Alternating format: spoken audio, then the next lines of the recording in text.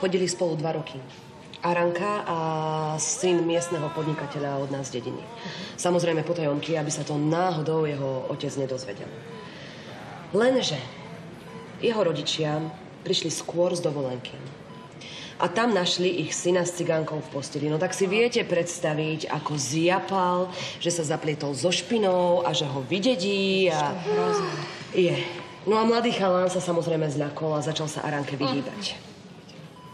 Aranka sa nedala. Ona behala za ním a prosila ho, že bez neho to neprežije, že bez neho umrie. A viete, čo jej on povedal? Čo? Že aby umrel. To je hajzel. Hej. Preto si Aranka vymyslela plán. A Pozvala ho do prenajatej chatky, že sa akože naposledy spolu rozlúčia a že až potom mu dá pokoj. No a tam v tej chatke... Pustiela plyn. Presne.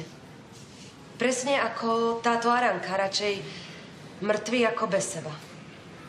Veľmi rado si prispôsobujete skutočnosti. A veríte tomu, čomu chcete veriť, Sandra.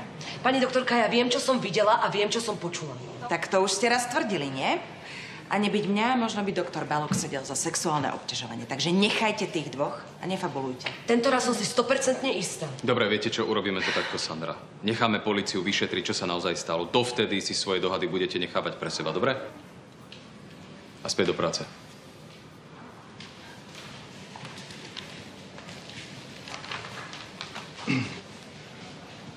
Beatka?